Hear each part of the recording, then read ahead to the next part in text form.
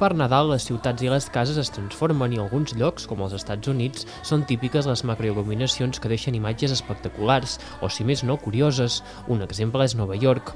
Qui més qui menys penja la seva estrella al balcó per aquestes dates, igual que feia de ben petit l'Àlex, un veí d'Olot que ha anat fent créixer aquesta afició per la il·luminació nadalenca fins convertir casa seva en una mena de parc de Nadal. Tota la vida m'ha agradat el Nadal, des de que era petit, ja fa com uns 12 o 15 anys que he anat fent, però més senzill.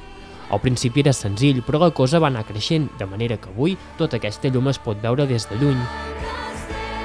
L'Àlex diu que tarda 5 dies a muntar-ho i una de les premisses que segueix és que quan col·loca una cosa en un lloc sempre ha d'anar en aquell lloc. Inclou tota mena de detalls, el típic Pare Noel, un ninot de neu i fins i tot un petit pessebre. És algo que m'ha sortit així, la família m'apoya, i bueno, jo cada any estic content, sempre m'ho somio a l'estiu i encara estem a l'estiu i, i ho vull fer, però bueno, sempre esperem que arribi ja finals de novembre per fer tot això. Un esperit nadalenc que té l'Àlex i que li agradaria que molts més olotins tinguessin.